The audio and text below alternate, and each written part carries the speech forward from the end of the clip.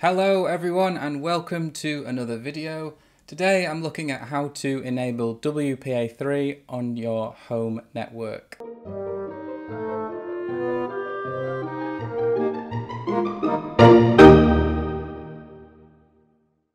Now at the moment I use the Ubiquiti UniFi Access Point, that's the generation 1. It's a little bit old now, but if we look in the controller, we can see the WPA modes that we're allowed to select are WPA1 and WPA2, so no option for WPA3. Well done Ubiquiti, it's only been two years since the standard has been released. So instead, we're going to look at OpenWRT, which you will need running on your router if you haven't got that already. You're going to hop over to your system and software page. Whenever you're doing anything with software, press the update lists. Update your package lists first, like so, and let's just carry on with the video as if nothing happened. Now, if you just click the tab on installed, type in wpad, and we can see WPAD basic is installed. Just click remove and then remove. We're going to just dismiss that.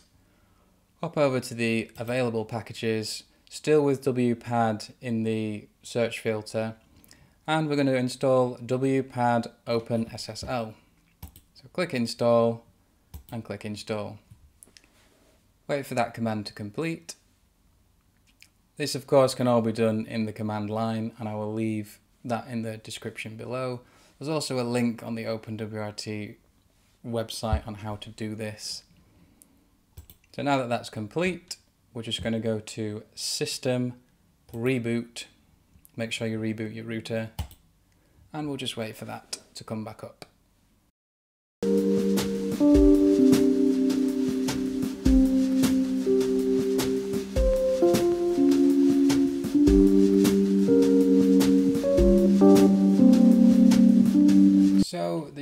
The has automatically reloaded the login page after it's completed its reboot cycle. So you just need to log back in as normal.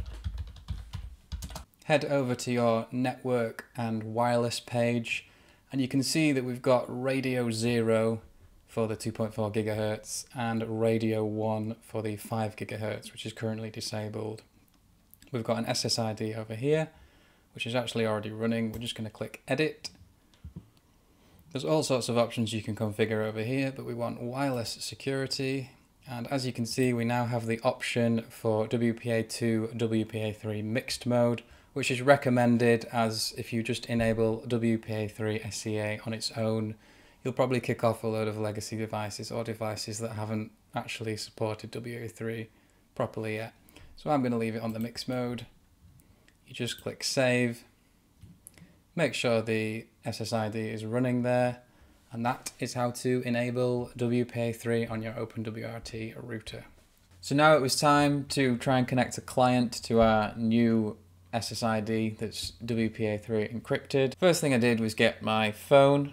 It's an iPhone SE from 2016. It does run iOS 13.3.1, so it is up to date and it is in support. If we just quickly check apple.com, they say they support WPA3 right here, but I have found that to be incorrect because it didn't work for me. When I tried and connected to the SSID, it gave the error message of wrong password.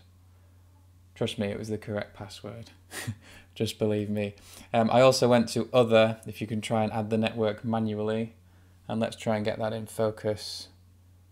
We've got WPA3 Enterprise, but no WPA3 personal option. So I don't think that's been implemented correctly.